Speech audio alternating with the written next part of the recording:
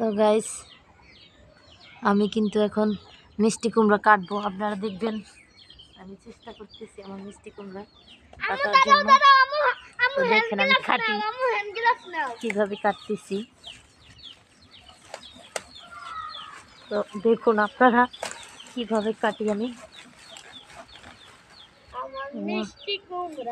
চেষ্টা করতেছি কাটতেছি। দোয়া করবেন সবাই কেটে গেছে।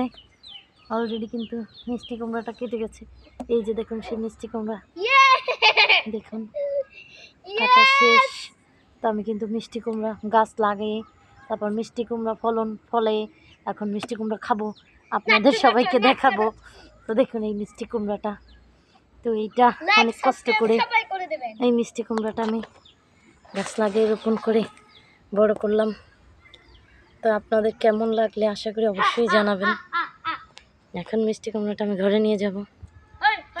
আমার ছেলে অলরেডি নাচো নাচো বসতেছে মিষ্টি কুমড়োর জন্য। তো শান্তর পাশে থাকবেন।